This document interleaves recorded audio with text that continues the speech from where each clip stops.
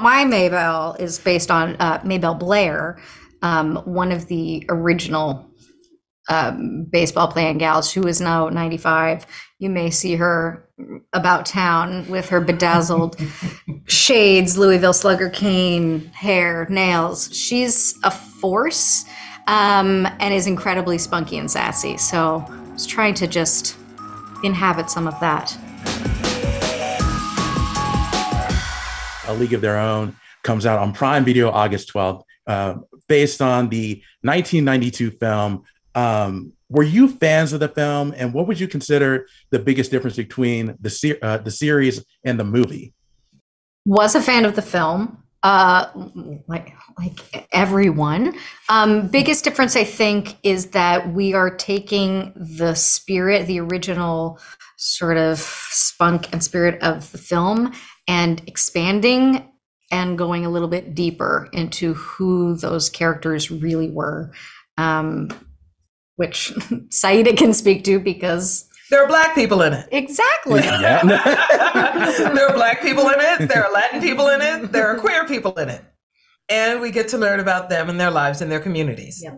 Well, Saidah, I want to ask you this. And speaking of, you know, different races in this film, your character, Tony, is uh, Max's mother. Uh, Max is obviously obviously one of the main characters. She wants to play baseball. Tony has no interest in her playing baseball, and she's one of the leaders of the Black community, uh, you know, in that city. So, um, how fun was it to play that character that's strong and confident and kind of a leader, and at the same time had this conflict with her daughter? Well, you know, um, Tony's a little opposite of me. I'm not as strong. No, I'm just playing with you. Yes, it was wonderful. And I've played mothers before. But the thing is, um, I never played a mom who had to deal with this situation of her child finding a way to communicate with her child. This is what I want you to do for your future. This is what I've set up for you. This is the way that I know that you can be protected in this racist and sexist uh, society. And the child says, no, this is what I'm going to do. Right. So, mm-hmm letting learning how to let your child go and how to let them be themselves. That was the most compelling part for me so. And it's hard. I'm not a mom but man that's hard. Oh yeah. Emotional. Absolutely. And uh, uh, for molly uh, you play Maybelle. And one of the things that stood out with, to me with her is she kind of reminds me of all the way Mae play my madonna in the 1992 film. Um, does she remind you of her when you were portraying that character um, a bit, but Maybelle, my Maybelle is based on uh, Maybelle Blair, um, one of the original um, baseball playing gals who is now 95.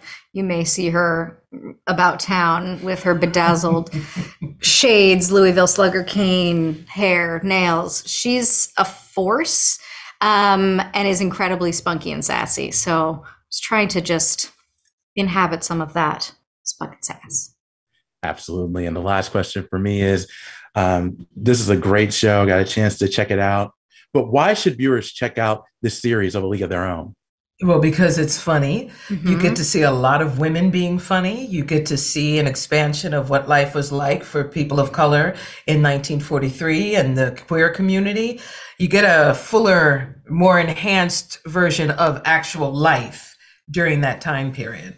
Yeah. And you can learn something.